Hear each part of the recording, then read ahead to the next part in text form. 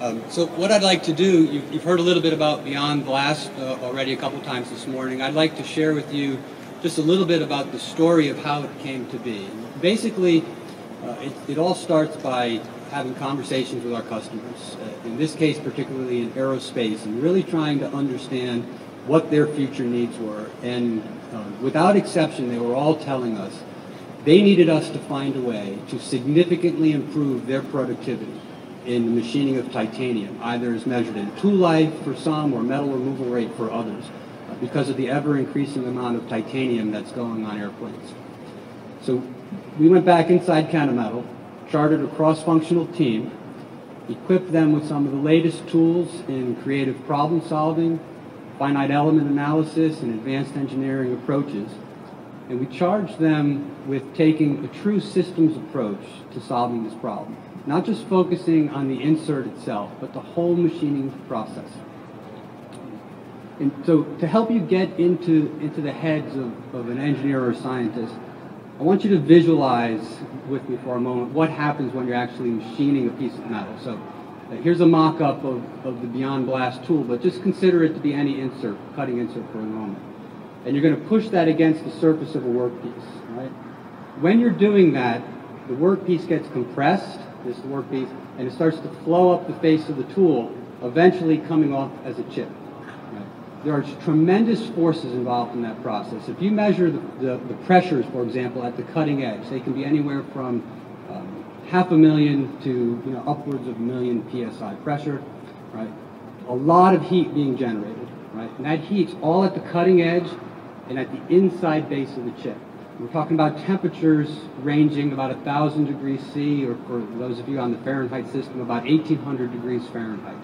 So it's incredibly hot. Right? Okay, so now you know where the heat is. Where's the coolant? Well, in traditional machining processes, if the heat's over here, the coolant's coming from outside the cutting zone. In exactly the wrong place to put it. It's actually impinging on the back side of the chip, which is the coldest part of the chip. And in materials like titanium with low thermal conductivity, um, it could be a lot colder than the actual hot spot on the inside of the chip. Right? The other thing you're doing is you're pushing that chip back up against the cutting edge of the tool. So that was sort of the aha moment that our engineers and scientists had when they started thinking about it that way, that they actually needed to find a way to do something nobody had been able to do before. And that's get the coolant fluid directly impinging on the hot spot of the chip and blasting the chip out of the cutting zone, not back into the cutting zone. And that solution is beyond blast, and it incorporates technology that we call precision Cooling technology, or PCT. Right? The benefits, obviously, of getting that coolant now right onto the hot spot, as Carlos mentioned, much more efficient utilization of the coolant, right, and blasting of the chip out of the cutting zone. Now, if it sounds easy, it's just because I'm describing it that way.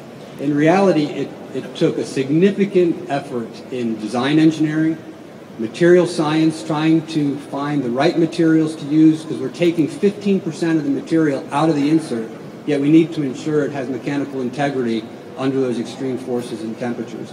Right? And then we also had to develop uh, new manufacturing technology.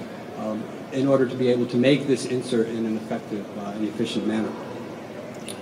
But what about the benefits for our customers? Because that's where it really matters. How is this going to translate down to the shop floor? As Carlos mentioned, increase in tool life. Um, we're getting new data all the time, and we've got some data up to 400% improvement in tool life. Right? Metal removal rates, one measure or another measure of increasing productivity, 30 to 50% increase in metal removal rate. Very interestingly, we can, with Beyond Blast, achieve comparable performance using low pressure coolant that standard inserts require high pressure coolant to achieve.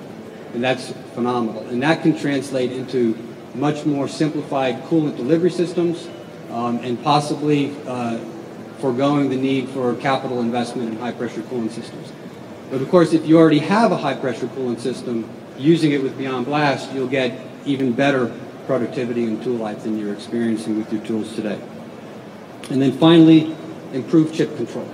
It's very important to get chips cleared out of the cut so you're not recutting uh, chips in the process. It's bad for the surface of the workpiece and it's uh, very bad for the life of the tool. And Beyond Blast, by, with its precision cooling technology, does effectively blast chips out of the cutting zone. Um, as Carlos mentioned, it, it, truly is a design and engineering breakthrough. Um, there's been decades that have passed since the last breakthrough in metal cutting that's on par with this. Um, and to get there took a lot of people in Kennametal working together cross-functionally across organizational lines. Many of them are here today, not all of them. Some are still back, back at the shop trying to come up with the next big innovation. Um, but we are, you know, very proud to be bringing this to you today, and we really do consider it to be a, an excellent example of the different kind of thinking that takes place at Kennametal. As Carlos said, we've got lots of new uh, innovations to show you today uh, beyond or other than beyond uh, Blast, and I would really encourage you to spend some time uh, in the booth uh, when we're finished here and meet with our product managers and our technical specialists, and they'd be happy to answer any questions you have at any level of detail about, about the products we have out there. And so with that, I'd like to turn the floor back over to Lori.